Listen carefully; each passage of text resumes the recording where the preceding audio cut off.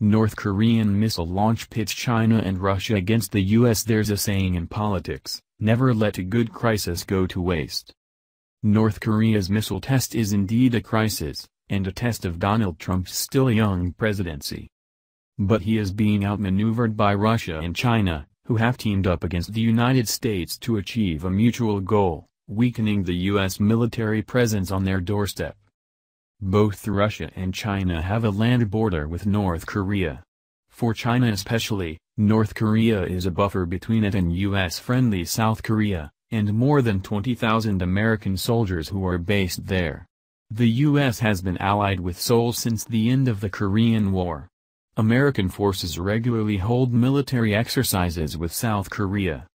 More recently, the U.S. has been deploying a missile defense system in South Korea known as THAAD, designed to shoot down incoming missiles before they land. On Monday, when North Korea launched this new intercontinental ballistic missile, China's Xi Jinping and Russia's Vladimir Putin were holding a summit, and presented their own solution to the crisis. On the plus side for Washington, their plan called on North Korea to halt and cancel its nuclear and missile programs. But the kicker was the quid pro quo for the U.S., stop conducting military exercises with South Korea, and stop the deployment of the THAAD missile defense system there. Neither of those conditions will appeal to the U.S. U.S. ready to use force, again. At today's UN Security Council meeting, Russia and China teamed up again to curb the power and presence of the U.S. in their region. U.S. Ambassador Nikki Haley made a belligerent statement, repeating a threat to go to war if North Korea does not curb its nuclear and missile programs. North Korea's actions are quickly closing off the possibility of a diplomatic solution, she told the meeting. The United States is prepared to use the full range of our capabilities to defend ourselves and our allies. One of our capabilities lies with our considerable military forces. We will use them if we must. No good options. It's a threat that has been made and heard before.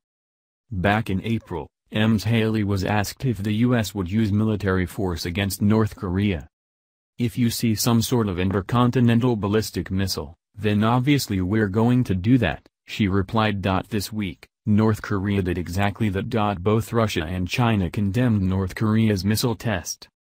But both countries firmly ruled out the use of force as a solution to the problem. Russia even appeared to rule out new sanctions, saying attempts to strangle North Korea economically were equally unacceptable.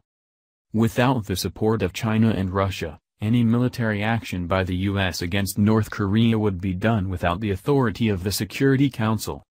If the U.S. doesn't use force, its threats are at risk of being compared to Barack Obama's infamous red line over Syria's use of chemical weapons, from which he was forced to back down, and was then pilloried by Republicans. It's often said there are no good options when it comes to dealing with North Korea. That remains true for the U.S. But Russia and China appear to be trying to extract a win, by reducing U.S. influence in the region. In the region.